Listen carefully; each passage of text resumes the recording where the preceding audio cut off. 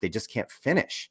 The red Mhm. zone issues are back because Kyle used to have issues in the red zone a couple years ago. This team was never really good in the red zone up until a year or two ago with Purdy and CMC again.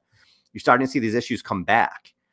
Can't score in the red zone. Can't really get more than 23 points. Look at the last few games here. Again, the New England game, whatever. They scored 17, 24, and the offense only scored 16 today.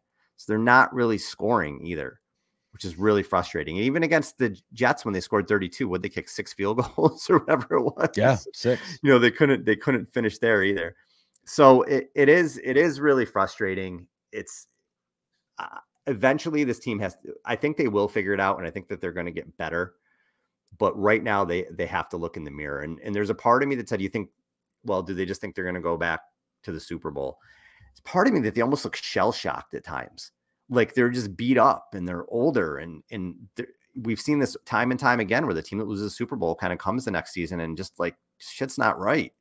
Shit's just off. And this has bill simmons calls it the year from hell vibe.